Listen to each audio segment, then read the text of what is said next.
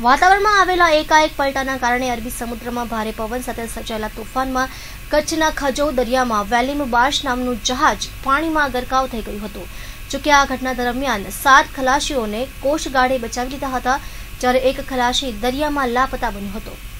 કચ્છના ખજો નજીકના અરબી સમુદ્રમાં બાર્જ જહાજ હતું. તે વખતે અચાનક વાતાવરણમાં આવેલા પલટાના કારણે સમુદ્ર તોફાની બનતા જહાજ હાલક ડોલક થઈ એક બાજુએ પાણી ભરાઈ ગયું હતું. જોકે આ વખતે દરિયામાં પેટ્રોલિંગ કરી રહેલ કોસ્ટગાર્ડની મદદ માંગવામાં આવી હતી, જે માટે કોસ્ટગાર્ડ દ્વારા બોટ શ્રીને મદદમાં મોકલવામાં આવી હતી. જોકે ભારે તોફાન અને ઊંચે ઉછળતા મોજા વચ્ચે કોસ્ટગાર્ડ દ્વારા બાર્જમાં રહેલા સાત ખલાસીઓને બચાવી લેવામાં આવ્યા હતા, જ્યારે લાલ બહાદુર નામનો ખલાસી લાપતા બન્યો હતો. જ્યારે કોસ્ટગાર્ડ દ્વારા ખલાસીઓને બચાવ્યાની ગણતરીની મિનિટોમાં જ બાર્જ દરિયામાં ગરકાવ થઈ ગયું હતું. જ્યારે દરિયામાં લાપતા બનેલા ખલાસી લાલ બહાદુરને શોધવા માટે હેલિકોપ્ટરની મદદ લેવામાં આવી હતી, જોકે તેનો પત્તો મળ્યો ન હતો.